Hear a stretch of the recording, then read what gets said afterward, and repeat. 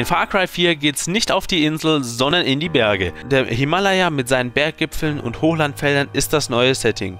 Und abermals ist unser Gegenspieler wieder ein etwas verrückter und sein Volk unterdrückender Anführer. Diesmal liegt aber im Fokus der Entwickler auch der Koop-Modus, in dem ihr mit einem Kollegen verschiedene Aufgaben erfüllen könnt. Und jetzt geht's zum Talk mit Felix.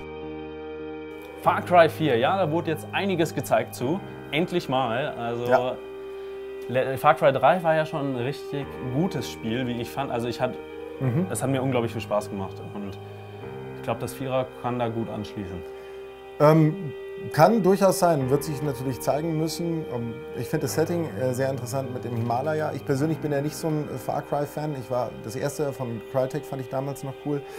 Ähm, Ich habe immer das Problem, Gunplay und Sachen, die ich in der offenen Welt machen muss, waren mir teilweise zu langweilig. Ähm, jetzt eben hier mit, mit Pagan Min und Himalaya und ich finde, es geht mir ein bisschen zu sehr in dieselbe Richtung. Also, dass sie wirklich so die Formel von drei nehmen und das komplett kopieren, bloß in einem anderen Setting. Ja, stimmt. Wo ich mir so ein bisschen denke, so, oh, das ist so ein bisschen auf den faulen Lorbeeren ausruhen. Muss nicht heißen, dass das Ding schlecht Genau. wird, überhaupt nicht. Ja. Kann richtig gut werden. Aber ich denke mir da so, das ist mir zu nah dran, so von dem, was ich jetzt gesehen habe, was man halt von den anderen Sachen kennt. Aber es gibt Elefanten, Mörderelefanten, die Ja. man einsetzen kann zu seinen Gunsten. Das ist schon mal. Ja, und äh, was ich aber ein bisschen schade finde, sie setzen ihren Fokus total auf dieses Koop-Ding. Ist zwar ganz cool, aber ich finde, sie sollten nicht den Hauptfokus drauf setzen. Die haben ja diese, glaube ich, was war, war das E3? Diese komplette Pressekonferenz nur darauf ausgelegt, dass dieses Koop-Feature ist halt. Und äh, Da denke ich mir genau, das finde ich super. Denn endlich ist es so, das habe ich mir schon immer bei Far Cry gedacht, man hat diese riesengroße Welt, warum kann ich immer nur alleine in dieser Welt rumlaufen und alles, was Koop-mäßig ist, ist klar. ist ja. immer nur ein bestimmter Koop-Level-Abschnitt, der losgelöst ist von dem Ganzen. Und jetzt kann man wirklich das Spiel spielen und in dieser Welt mit seinem Spätzle irgendwie ordentlich Schaden anrichten und äh, Missionen abseits der Story-Mission, weil die muss man alleine spielen, absolvieren.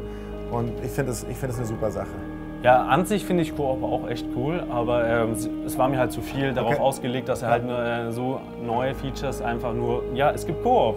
Das war mir halt ein bisschen zu wenig, aber es wird, denke ich, trotzdem wieder ein cooles Spiel, cooler Zeitvertreib und man wird wieder Sachen sammeln können bis zum geht nicht mehr große Welt.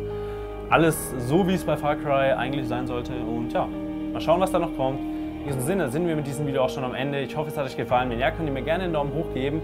Und ja, vergesst nicht zu abonnieren. Bis demnächst und immer schön weiter zocken. Ciao!